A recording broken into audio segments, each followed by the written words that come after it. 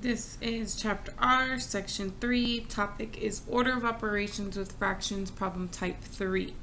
So we we have a parentheses, but it's not a grouping because there's nothing more in here than just one fraction. Okay, so there's nothing to do inside this parentheses. So we're going to go to the next step, which is evaluate. And we do have something that we need to evaluate there. So I'm going to bring down the rest of the problem. Now, one thing we need to remember is that when we have a number right outside of a parenthesis, it is automatically understood that there is a hidden multiplication in between those. So when I rewrite this, I'm going to write in that multiplication so that it's evident.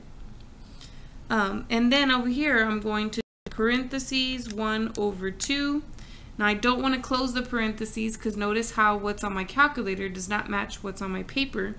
That parentheses should be large, covering the whole one half. So do the right arrow first and then do the parentheses and then hit your square and we get 1 fourth. Then now the next thing after evaluating is to do multiplying and dividing.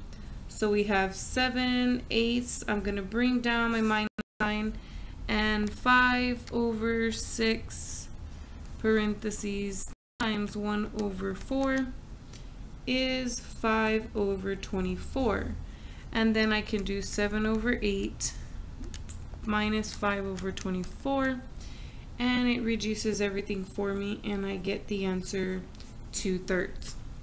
Now we're going to do the same thing for this problem.